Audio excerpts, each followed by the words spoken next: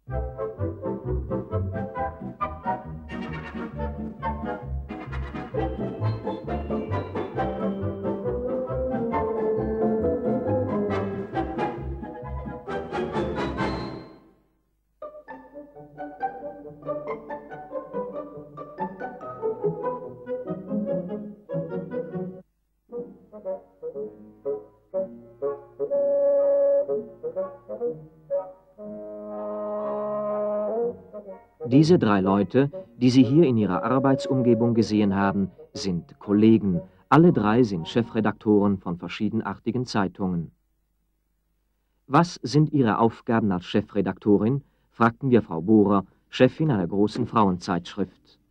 Meine Aufgabe als Chefredaktorin? Viele verschiedene. Planen, redigieren, organisieren, schreiben, lesen korrigieren, diskutieren, begutachten, hören, schauen, koordinieren, diktieren, konferieren und telefonieren, pardon. Herr Kunz ist Chefredaktor eines Appenzeller Blattes. So bei einer kleinen Landzeitung kann man natürlich nicht den Chefredakteur spielen. Es gibt allerhand zu tun, nicht nur bis man den Kontakt mit den Kunden und mit der Verbindung mit der Zeitung hat, sondern man muss auch technisch überall zugreifen und mitarbeiten. Wenn wir jetzt auch 100 Jahre alt geworden sind, ist das kein Beweis, dass wir das zweite Jahrhundert auch noch bestehen. Aber solange wir mit unserer Zeitung und mit unserer Verbundenheit mit dem Volk den Kontakt haben, wie der Landsgemeinde, mit der Landsgemeinde, müssen wir nicht Angst haben. Was haben wir diese Woche auf der Fernseh- und Radiobilanz? Äh, ein Aufsatz über das Schulfernsehen und dann die Radiokritik. Und dann wird ich also das Bild noch nehmen, das ist eine grosse. Vielleicht da. Ja, die Spitze nehmen? Ja, doch, ja, das ja. wird ich eigentlich Gut, nehmen. Ja, Herr Dr. Stutze ist Chefredaktor der größten schweizerischen Tageszeitung. Seine Pflichten? Ich bin der Geschäftsleitung gegenüber verantwortlich für den Inhalt der Zeitung und alle administrativen, organisatorischen Fragen, die mit der Redaktion zu tun haben.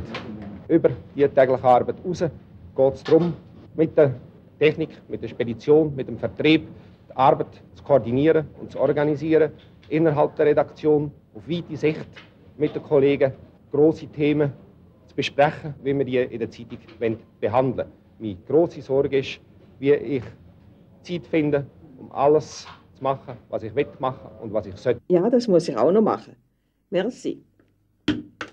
Als Frauenzeitschrift ist natürlich die Mode das Allerwichtigste für uns. Wir planen weit voraus und äh, müssen im Februar schon Badeaufnahmen machen und im August Skiaufnahmen. Wir gehen nach Berlin, Rom, München, schauen alle wichtigen Kollektionen an. Wir suchen in der Schweiz Kleider und Accessoires zusammen. Die Redaktorinnen telefonieren mit Paris und London, um Covergirls, Mannequins, Modefotografen für einen bestimmten Termin festzulegen. Sie sind meistens unterwegs oder am Telefon und sie sind immer himmelhoch jauchzend oder zu Tode betrübt. Die Grafiker sind heute natürlich die wichtigsten Leute in jeder Redaktion, die mit Fotos und Illustrationen zu tun hat. Die heißesten Diskussionen werden im Grafikeratelier geführt. Wie groß soll dir oder jene Foto erscheinen? Welche Aufnahme eignet sich für das Titelbild? Ist die Schrift für einen Titel leserlich oder nicht? An der Redaktionskonferenz diskutieren wir den Inhalt vom nächsten Heft und dann wird die sogenannte Makete gemacht, das heißt die genaue Einteilung von Farbseite, Textseite, Inserate und so weiter. Während das eine Heft noch im Anfangsstadium ist, kommen Korrekturen von anderen Heften und werden kontrolliert. Das Wichtigste scheint mir, dass nichts unwichtig ist, dass kleine Sachen genau die gleiche Bedeutung haben wie große. Und so werden die drei Zeitungen gemacht. Das ist Kette eine von unseren eisernen Maschinen und Kollegen, die uns helfen, den Satz, das Manuskript in Satz umwandeln. Etwas im Hintergrund steht unsere Luise, die stille Reserve. Die hat während Jahren als Ein-Magazin Setzmaschine unseren Betrieb dient und ist nun abgelöst worden durch die stärkere Kette im Jahr 1961.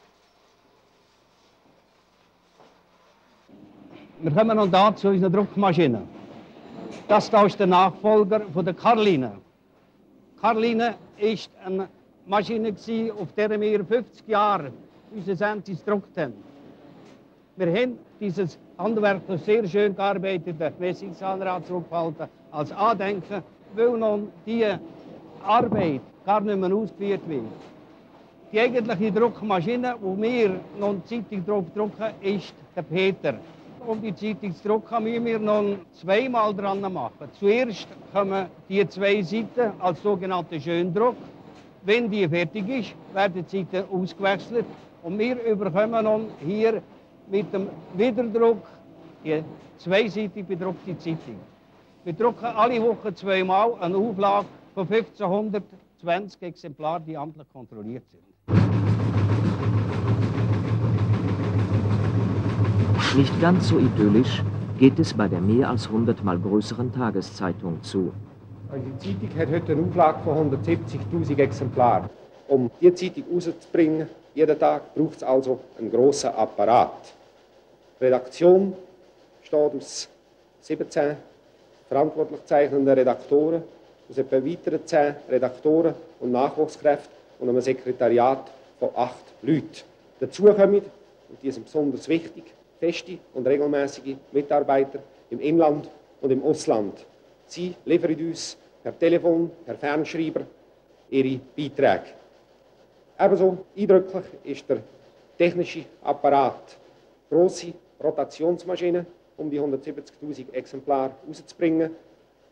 Moderne Setzerei, um die umfangreiche Zeitung zu bewältigen.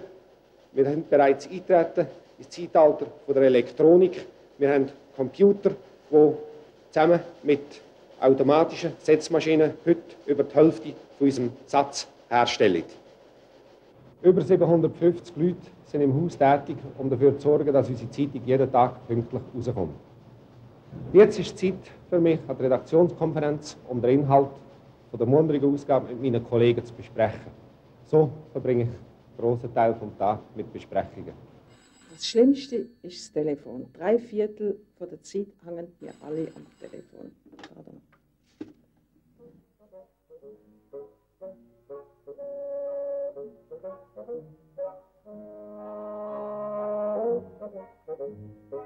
Der Chefredaktor beim Falzen seiner eigenen Zeitung.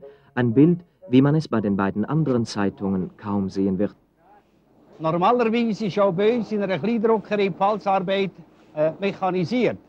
Aber wenn ein Strom versagt oder eine Maschine streikt, dann ist die Handarbeit immer noch das zuverlässigste. Das heisst, alle Mann an Deck, jeder ist Zentrumknecht.